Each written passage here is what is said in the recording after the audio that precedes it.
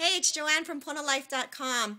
I just finished my workout this morning and it was a difficult workout mostly because my head wasn't in the game. I was so distracted by things that I feel like I need to do that my head was somewhere else and I, I just struggled. I struggled. And so I chose to stop um, my workout and write down things as they came up. Because I'm the kind of person if I don't write it down right then 10 seconds later it's gone. And an hour later I'm thinking what was it that was so important? And I just don't remember.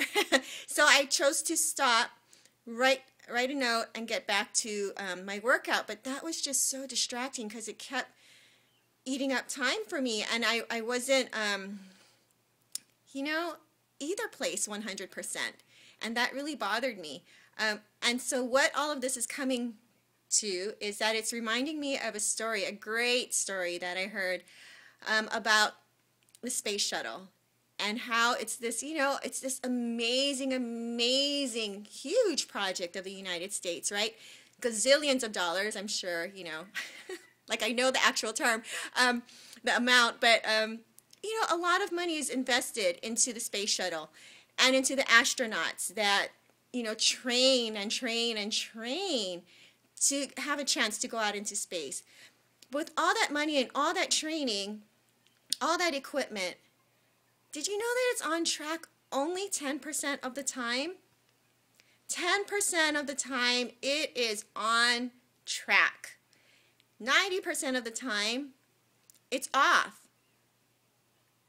All that time, all that money invested, and 90% of the time, the space shuttle is not on course. It is course correcting. You know, it's true that to get from point A to point B is in a straight line. It, it's like this this kind of wavy line. It's a constant course correction. And so that's what I felt like today.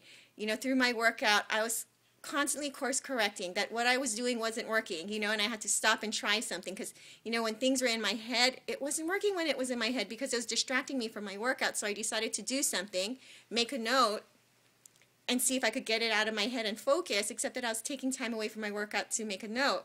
And so I, you know, I was constantly trying to find this middle ground by making these little corrections. And in the end, I just chose to focus, just really zero in and focus on what I was doing. Um, and that worked for me. But I just wanted to make a point because a lot of times people think that when they want to lose weight, get healthy, you know, make a commitment to whatever workout program or whatever kind of diet program, that it has to be all in 100% all the time, every day, every minute of every day. And you know what? It's life. That's not the way it is. We're human. We make mistakes. We fall off. We get back on. It's all about course correction, getting yourself back on track, and looking at what your goal is. Get to the goal. Get to your Mars, you know, wherever that space shuttle is going. Make that your goal. It's not about walking a straight line. It's about picking yourself up whenever you stumble get back on, focus on your goal, and get there, no matter what it takes. So, happy day, guys. Have a great one.